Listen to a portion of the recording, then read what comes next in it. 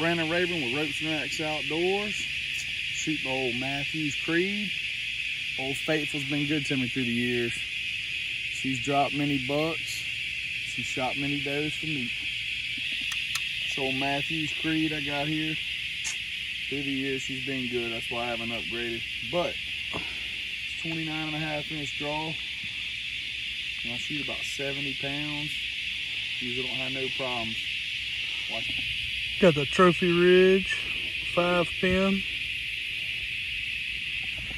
Shooting the old QAD Mathews edition.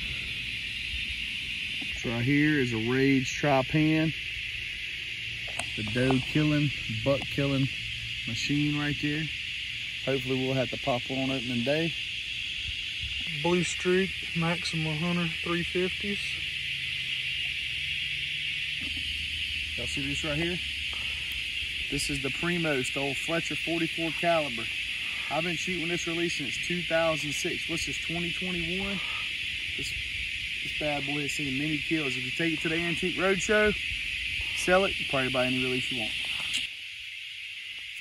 Well, that's my setup for 2021. Ain't getting a new one. I roll out to the hardwoods with this bad boy and see what happens. Appreciate y'all.